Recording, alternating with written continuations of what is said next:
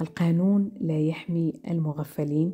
واحد العبارة اللي كنسمعوها دائما ورا هاد العبارة كاينة قصة.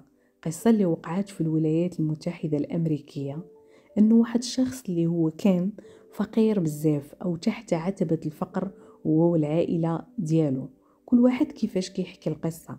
والهدف من وراء هذه القصة أو أي قصة كنسمعوها سواء كانت حقيقية أو مفبركة هو أننا ناخذ العبرة. فعلا القانون لا يحمي المغفلين.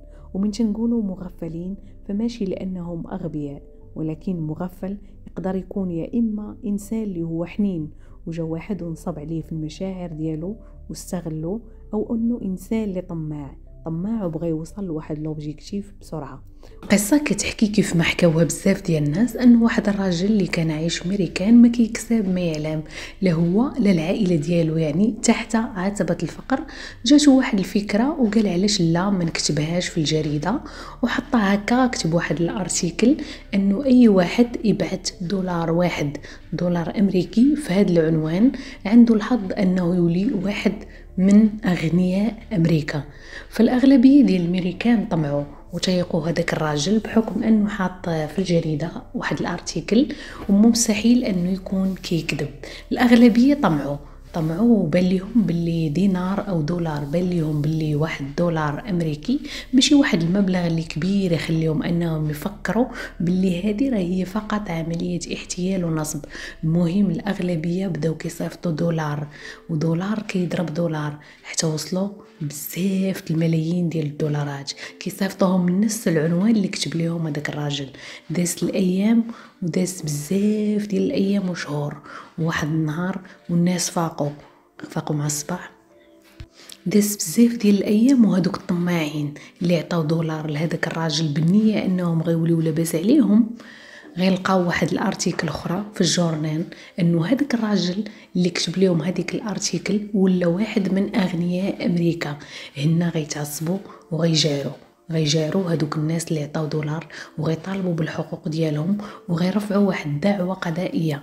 غيدفعوا رفعوا دعوة وكل واحد على حسب الولاية فين كاين غيرفع دعوة وغيمشي هذاك الراجل وغيستدعيو هذاك اللي كان مول فكرة الدولار إنه يعطيو دولار إنهم يوليو أغنياء غيمشي للمحكمة وغيلقاو بلي ما عندهم حتى شي دليل لا ورقة أو ما يثبت أنه هذاك الراجل نصب عليهم.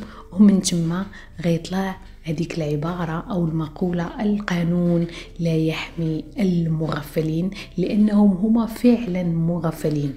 كيف يعقل أنهم عطاو هذاك الدولار مع أنه مبلغ بسيط ولكن الفكرة ديال السيد اللي خلاته هو غني؟ هي هذيك الفكرة البسيطة. كاين اللي غيعتبرها النصب احتيال يعني المغفلين اعتبروها النصب احتيال ولكن القانون الأمريكي اعتبرها باللي أي واحد عطى هذاك الدولار فهو مغفل ومن تما جات مقولة القانون لا يحمي المغفلين.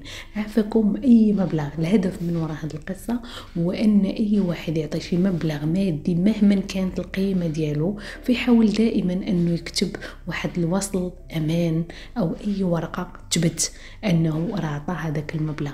حاولوا أنكم تبعدوا على المسائل مثلا أنكم تصيفطوا الناس اللي هما مجهولين الناس اللي ما كتعرفوهمش. وكتصيفطوا لهم مبالغ مالية. فكيقول المثل المغربي الكذاب غلب الطماع. ما تكونوش دائما طماعين ودائما قبل أي أوبراسيون أو عملية اللي متعلقة بالفلوس. حاولوا دائما أنكم تحضروا عقلكم ودائما أي مبلغ من ما كانت البساطة ديالو حتى ولو 25 دولار أو 250 درهم ففي القانون المغربي ابارتير أو ابتداء من 250 درهم خاصك دائما تحاول تكتب واحد الوصل أمان لأنه الدنيا فعلا ما فيهاش أمان والنصابة كثروا حاول دائما أنك قبل ما تخدم المشاعر خدم العقل ديالك وشوف أشنو من بعد غيجي من وراء هذيك القصة. إلا بغينا نصدقوا ولا نعطيو الناس فهي حاجة أخرى. أما إلا بغينا ندخلوا في شي لعبة أو أننا بهدف طمع أو الربح فدائما تكون أي حاجة الله يخليكم موثقة. هذه كانت قصة اليوم. نتمنى أنكم تكونوا استفدتوا منها وأي قصة الهدف منها فقط هو اخذ العبرة. خليت لكم راحة ولهنا كانت معكم حياة وقصة اليوم. القانون لا يحمي المغفلين. القانون كيحمي الناس اللي عندهم أوراق وعندهم دلائل أو ما يثبت تحياتي